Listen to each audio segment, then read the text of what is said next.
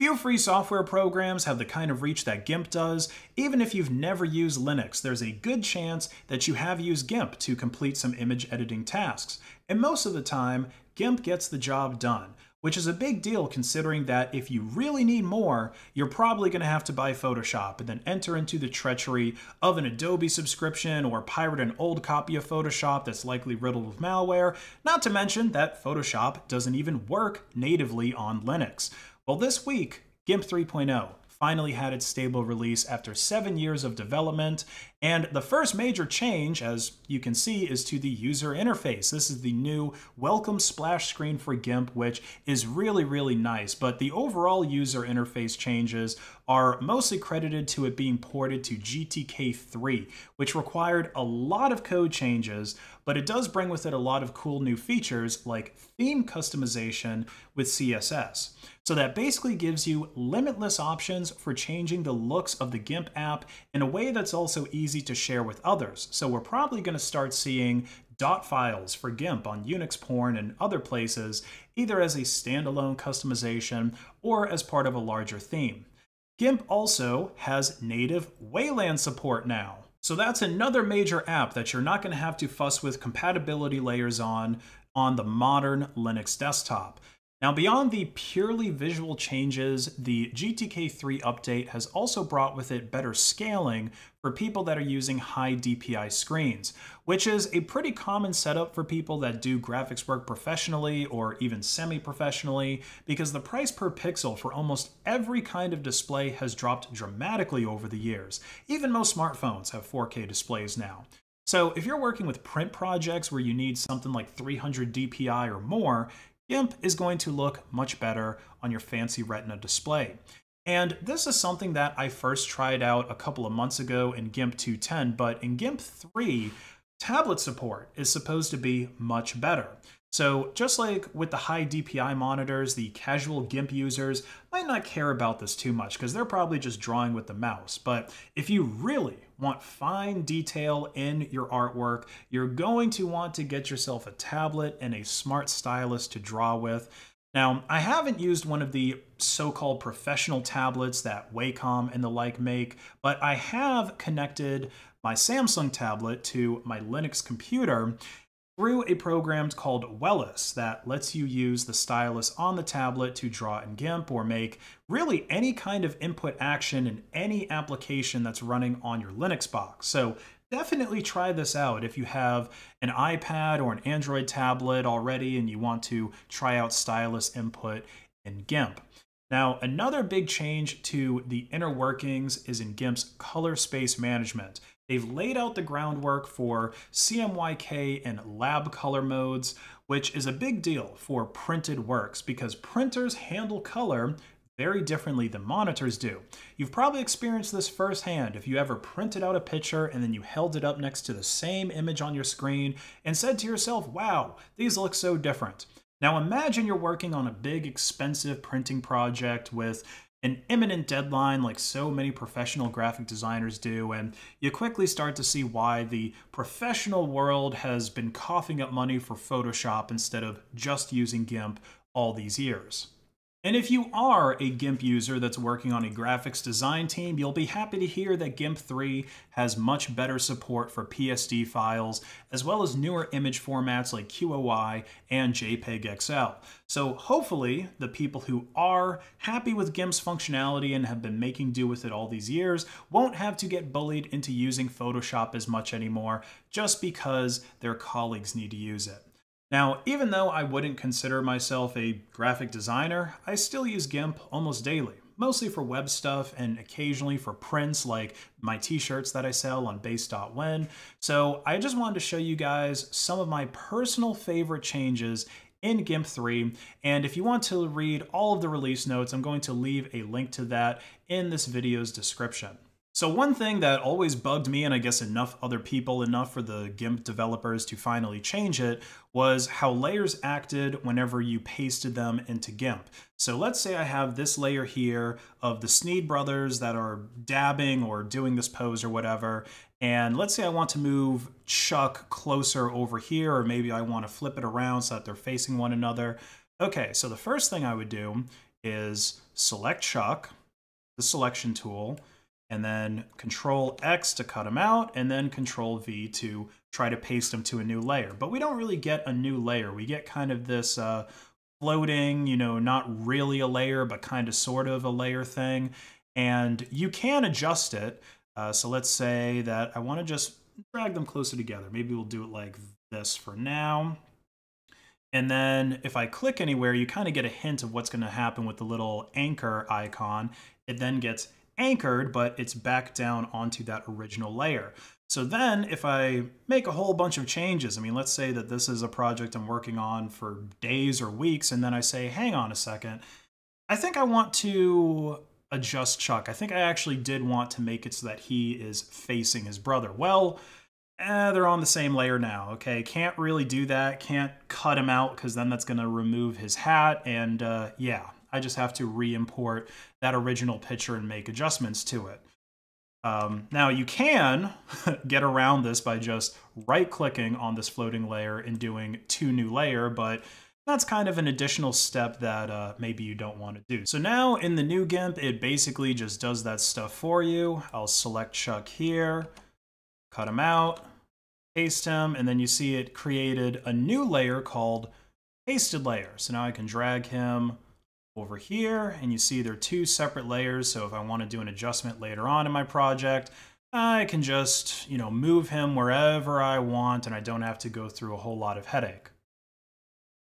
Now, another big layer change is how linking works. So let me go back into my Ubuntu VM on my old version of GIMP. Okay, so let's say uh, that I want to move these two layers together, right? So like, let's say that they're together like this, and then I want to move them up, but I want them to be, you know, equidistant apart and still lined up, or I guess they're not really lined up. Maybe they're lined up a little bit better now.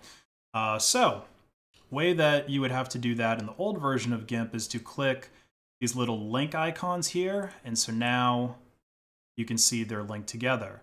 Um, but this can get tricky if you've got a more complicated project going on because there's not separate links uh, here. So like, let's say you've got multiple items that are in the background and you've got multiple items that are in the foreground that you want to be linked independently.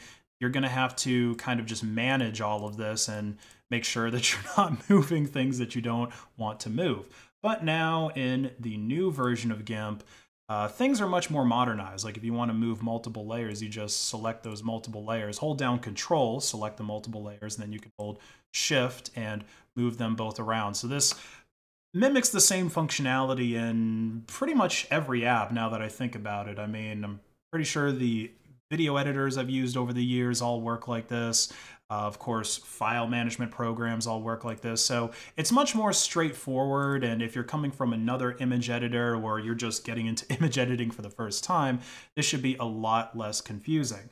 Uh, now, the linking dialog has been replaced with the locking dialog, which was in another area before, uh, where you can go to lock the position and size of a layer, lock the pixels, visibility, or lock the alpha channel. Now, hands down, the best feature, and I think most people are going to agree with me here, is the non-destructive layer effects. Okay, so let's go back to the old version of GIMP and let me show you what I'm talking about. Let's say um, that I want to apply some color effects to this layer. Let's start with uh, the curves. Okay, so you can see how this is kind of adjusting it. You know, it gets a lot darker if I go down there. Let's just adjust it a little bit. And then let's say that I want to add some color balance to this layer as well. Okay, and maybe I'll increase uh, the yellow a little bit, or I'll increase the blue rather. And sure, we'll do that. But then let's say, oh, well, actually, I want to go back now and make an adjustment to the curves. Okay, well, how do I do that? Maybe I'll go up here to uh, color and select curves again, but oh no, it's been reset. And that's because this is a new instance uh, of curves, or this is like an additional curves effect that's being applied here instead of just modifying the first instance of it. So if I wanted to go back and do that, now I have to undo my color balance and then I can go and redo the curves effect. So very annoying. I mean, again, you can imagine if you're days or weeks into your project and you want to go way back and change something, that this is going to get really annoying having to go through all of those undos and redos. Well, in the new version of GIMP, if I add my curves to this layer, a little bit there, and you can see now that this FX icon shows up. And if I click in here, that's where the curves effect is and the layer effects. Okay, so now let's go and add my color balance and blue a little bit. Come back over here. You see I've got my color balance and I've got my curves. Well, maybe I want to see what the color balance looks like without the curves. Well, just uncheck the visibility. Now I can see what that looks like independently and vice versa. I can change the uh, ordering of them if you want curves to uh, go after or before or whatever. And then you can also adjust the original curves effect, go the other way. Now he's looking real yellow. and uh, so on and so forth. And you keep on adding new stuff. Like, why don't we do, um, see, enhance and sharpen, unsharp mask and maybe give him like kind of a deep fried looking effect. and then come back into the FX and you can see everything is right here and it can all be adjusted independently. Uh, you can remove them all. And when you're finally ready to apply these changes in a destructive way, you just come down here and click on merge all active filters down, and then it actually applies these effects now. Now, you should know that if you do end up having a whole bunch of different effects stacked up in here, uh, like why don't I just add the brightness and contrast to, and add hue saturation in here as well. yeah, there we go. And then, um, you know, you're toggling these all on and off. It can start to slow things down a little bit. Like there's just a little bit of lag here um, although I am running on a pretty powerful system. But you should know, like, if you're on a laptop or you're on a weaker system and you start going crazy with a lot of layers without merging all of them down, then it's going to really slow down your image editor. And this is the case with all image editing programs to some degree, but GIMP has a lot less GPU acceleration and optimization than Photoshop does. So you might get sluggish sooner, but ultimately, being able to make these adjustments on the fly individually without having to uh, deal with redos and undos and all that is just going to save so much time. I mean, even if um, things end up like crashing more often or something like that because of like running out of memory or whatever still it's going to save you so much more time than having to go back and, and make these adjustments to it. So get yourself the latest version of GIMP. If you're on Arch Linux or some other bleeding edge distro, it should be in your repositories already.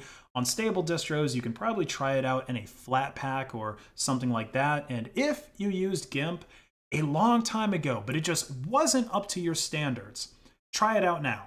Just give it a shot, and maybe you'll find yourself no longer wanting to renew your Photoshop subscription.